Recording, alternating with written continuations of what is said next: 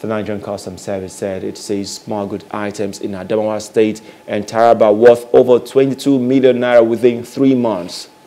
The Customs Comptroller Salihu Abdullahi disclosed this to newsmen at the Customs headquarters in Yola, the Adamawa State capital. He assured the general public that the Nigerian Customs Service is doing everything humanly possible to bring to an end to the incest and smuggling in both Adamawa and Taraba states. The duty paid value of these items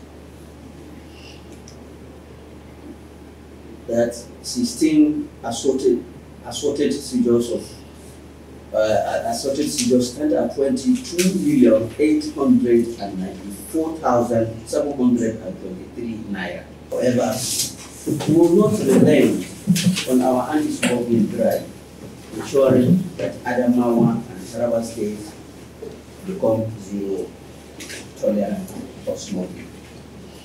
Hello. Hope you enjoyed the news. Please do subscribe to our YouTube channel and don't forget to hit the notification button so you get notified about fresh news updates.